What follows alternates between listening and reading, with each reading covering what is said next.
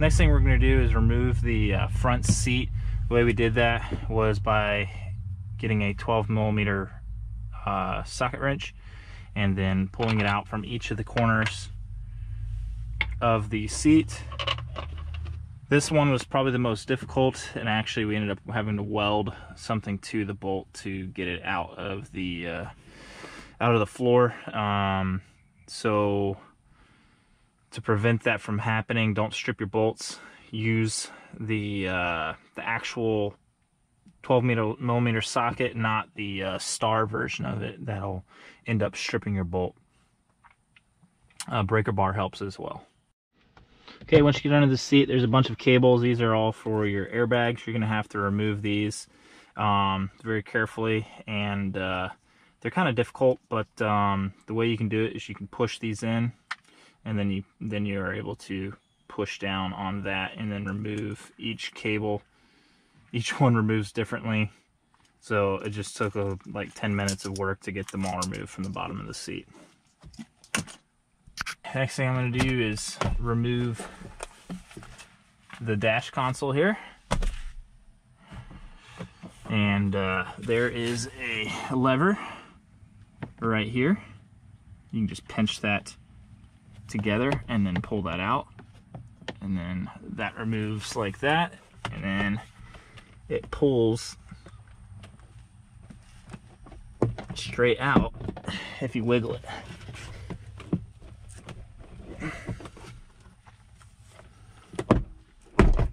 There we go. Sweet. And it's just you're just pulling it from this bar that connects right there and there all right, that exposes our ability to do some wiring that we're gonna need to do. And you don't really want to remove any of this. I actually did, and I ended up kind of messing up the ability to put it back on completely. So that'll probably be a $100 fix later in the future um, as it kind of messed up the clips there. All right, now we can uh, remove this plate right here. So I'm just gonna stick a pry tool underneath, get my fingers under there, and then I can lift it out.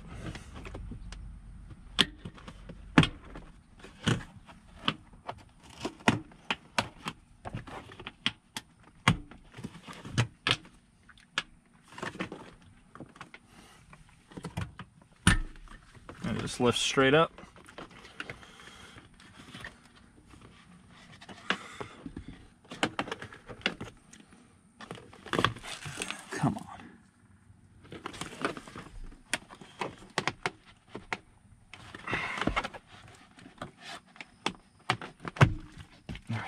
That little clip had some problems. Throw that back there. Gonna remove this. Pry tool. And that bolt should just pop out.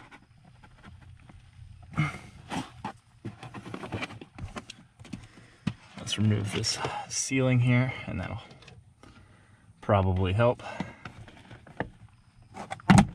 There we go.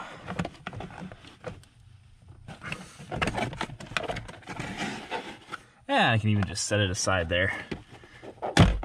But it's also just a clip that goes onto a stud there. There you go, just that little guy. Next I'll show you how to remove these plates here so that we can remove our stereo units so that we can splice into the back or tap into the wires of the uh, the harness. All right, so I'm gonna take my pry tool and I found that up here is kind of the best spot to unclip the top.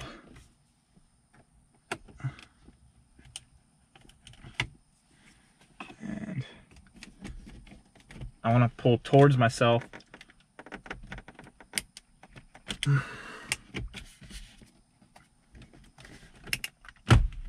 There we go. I want to get that clunk noise because there's some blue clips back here that hold it and pops out. You can see there's four clips holding that in together.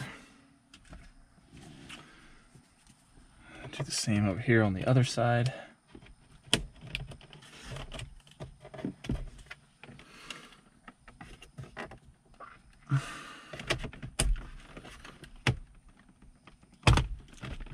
There we go. Wiggling it helps. Get your fingers stuck in there. You probably cut yourself once or time, twice doing all this. All right, and then for this top portion here, this was the hardest one.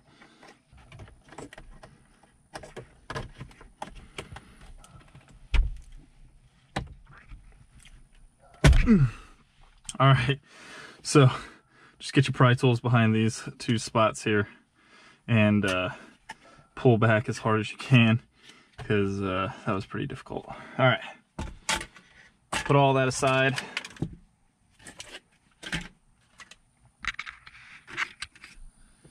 And uh, now it exposes our one, two, three, four Phillips heads.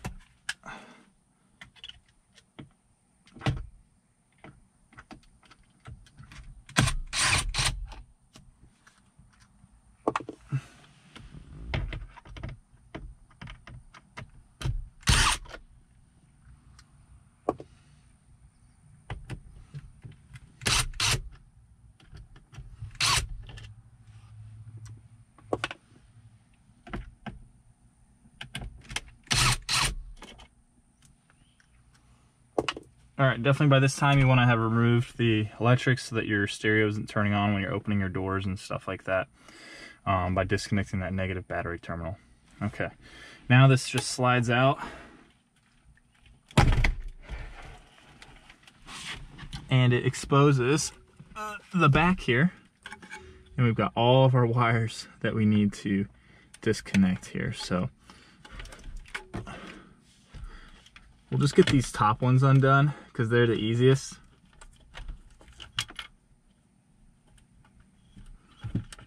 you can see they're all actually pretty difficult. And it's so humid here, they're kind of slippery as well. There we go. Get those top ones out. And then the, the ones I care about are these bottom right ones. So if you're looking at the front, the bottom right uh, two uh, plugs are the ones that I want to be able to get to and get those unplugged. All right, I want to get these unplugged by simply pushing in on the top and wiggling them out. You can even get some pliers, which is probably what I'm gonna do. Get these pliers in. And you just wanna be careful not to get the cables while you're at it. Boom, super easy to do with the pliers.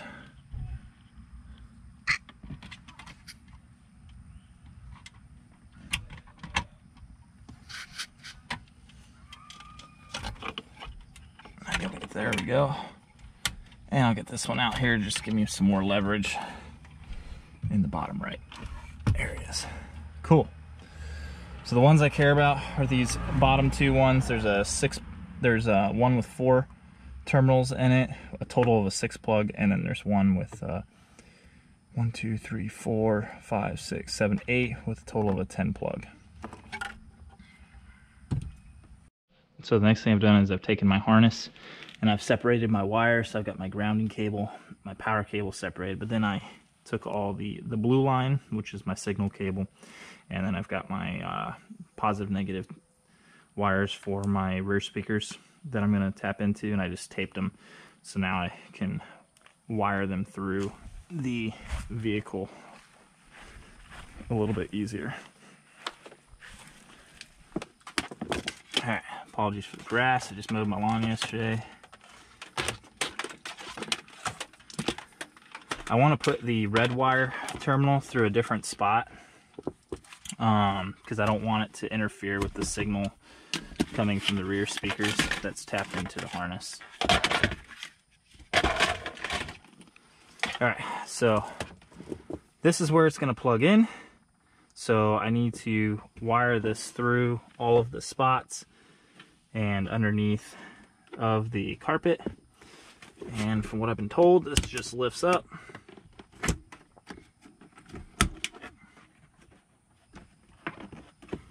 Just getting my fingers under the plastic. And then boom. Now I can get under here and wire myself all the way up and around. All right. Should be pretty easy, hopefully.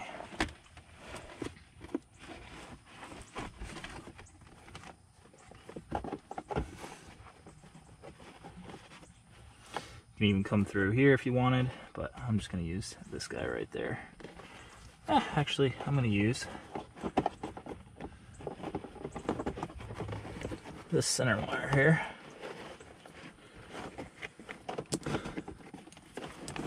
That way I can just leave it with all of those wires. Cool. I'm going to take this red cable, pull all the way through, because I don't want that to be fished up the same way.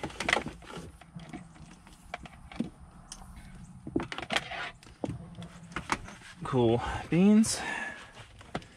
And then this guy, let's wire this up.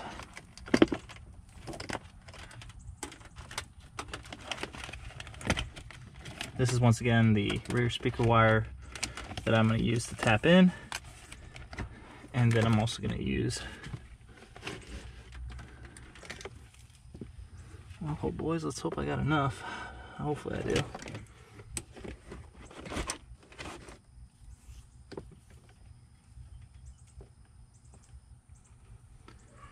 Alright. And let's get this all all right, so now I've got it fished all the way up through here underneath the carpet and I've got it right here and now I need to look through and find a way to get these wires up to the back of the harness. This will probably be the most difficult part. All right, so I've taped the ends together. I've got it through here and now I'm just gonna put this through and then reach my arm back through here and just try to, if you have a friend, this will probably be the easiest, but if you're doing it by yourself, this is the best I got.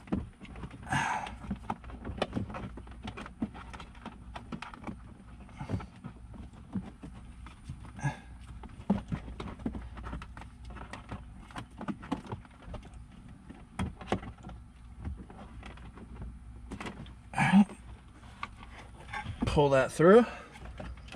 And voila, there's half your wiring done. Okay. Next thing I'm gonna do is hey guys what I got here is some harnesses that I purchased online. They were kind of expensive. You can build them your own but I was just a little lazy. Um, I'll put the link in the, description of the uh, page. But it was from Auto, Auto Harness website that sold a 10 pin and a 6 pin connector that I needed. Um, for this connector the top right uh, matches the blue and red from the 10 pin connector from up here. So I'm simply going to take my blue, my signal wire that I had to extend with a regular speaker wire and I'm going to put it in here and then I should be able to just plug that in to the original factory harness and then this end into the radio head and then that way I am not cutting into any factory wires. Okay, so stripped off a little piece from that top right. This is my imaginary blue wire, and I'm just going to wrap that around best I can. And then once I've got it wrapped around, you can solder that, uh, which is probably the smarter thing to do, but I don't have a soldering iron, so I'm just gonna tape it. It'll be fine.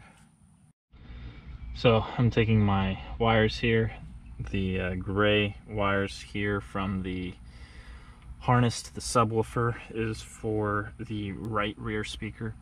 And uh, this black stripe is the negative the no stripe is the positive.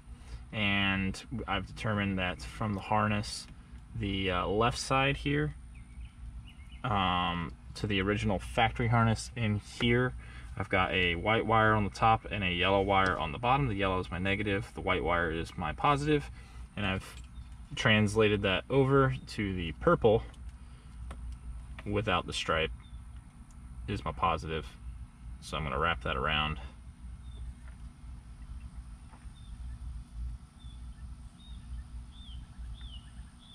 So whatever color this harness comes in, just make sure that you're writing this down and transcribing it so that your fade works correctly and that you aren't messing up your speakers and giving them wrong power inputs.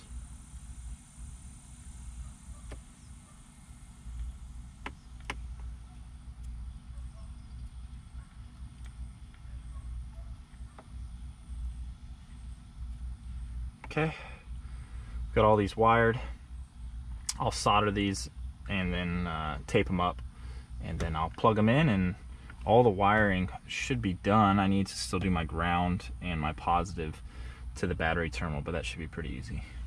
All right, so I taped them all in, taped them individually, and then did one big wrap around so that one pull doesn't just take it all out. Cool beans. All right, move the head unit back out of the way since it's kind of slid in there. And I will take the six pin harness, plug it into the factory harness.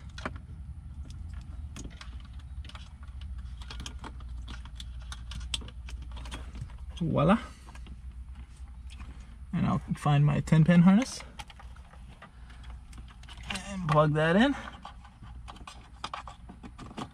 Now these harnesses I bought are meant to like do your own factory, I mean, um, are meant to plug into um, an amplifier and then you can amp the sub and stuff like that. So that's why there's a bunch of extra wires.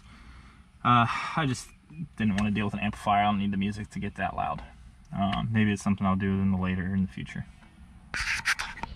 All right, so then I now that I've got these plugged in,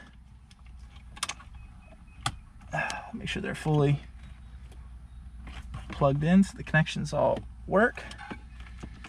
And then I'll plug these back into the back of the, uh, the head unit.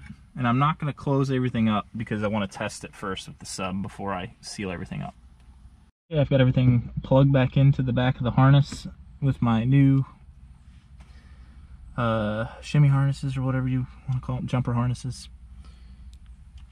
And get all the wires plugged in and then I can just kind of set this back for now. Okay, next thing I'm gonna do is uh, take my ground cable and uh, crimp on a, uh, I think it's called female disconnect. Or male, however you, maybe, I don't know, whatever.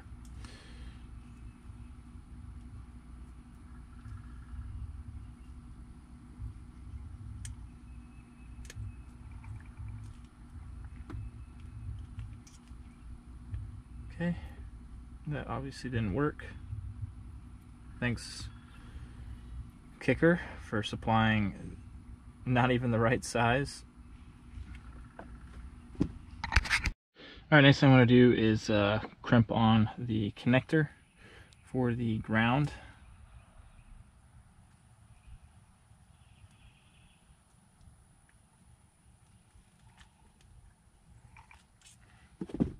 and make sure that it doesn't kind of come undone there.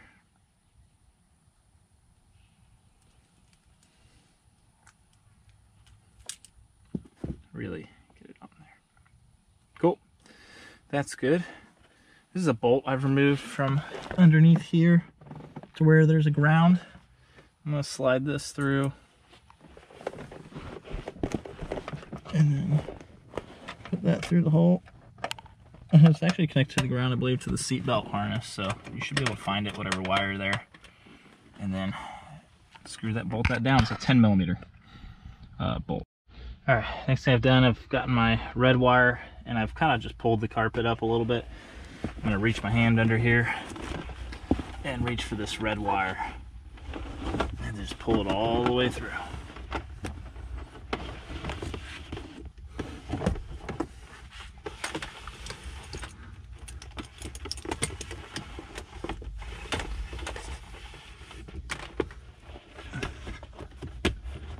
Cool. Tuck that up out of the way.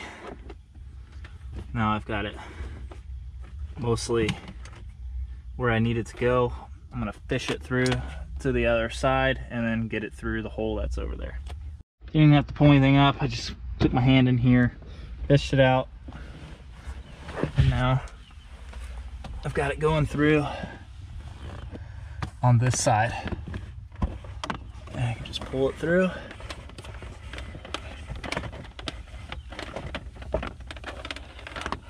All right, next up is to find the firewall grommet, which shouldn't be too crazy. Probably easier to find it from the other side. All right, I'll show you where I fished it up.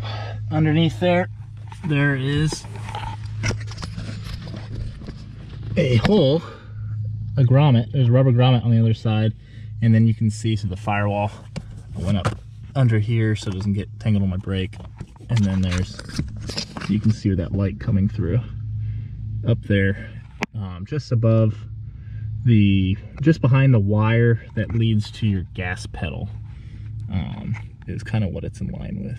But there's a cutout there, and it comes out on the other side. You can see here. Close this. And there's the little hole there from the other side.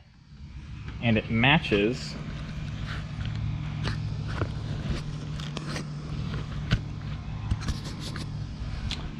a rubber grommet here. And what I've done is I'm going to continue fishing this wire and this rubber grommet will go back in place there. So I kind of fished this wire through. I'm going to pull it through. I drilled a hole. It was 930 uh, 932 of an inch or whatever 9 eighths or whatever that is of an inch uh, so I'll feed this through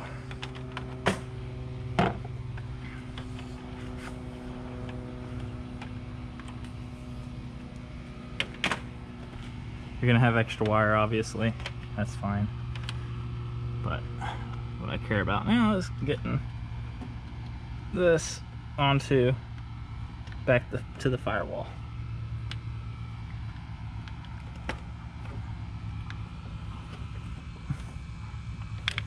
Okay, once you get it through, I wrapped it underneath and then I zip tied it with a wire zip tie. Even has like a nice little hole to put the wire through.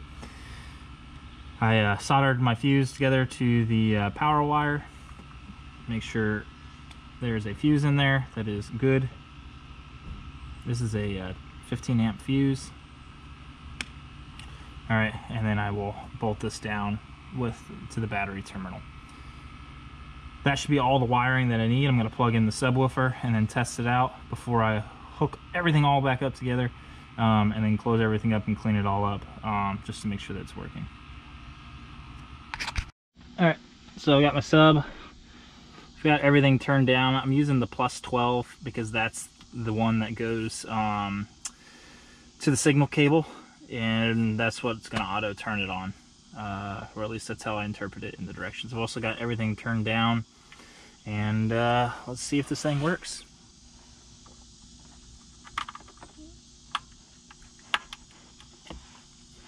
All right, so that's plugged in. And now I'll turn the car on. There's a wire. It looks like it uh, came on as soon as I hit that. So that's good. Let's go to radio.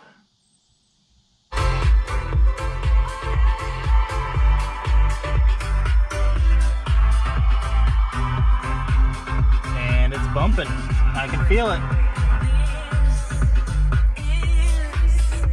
Oh, of course, Lady Gaga comes on.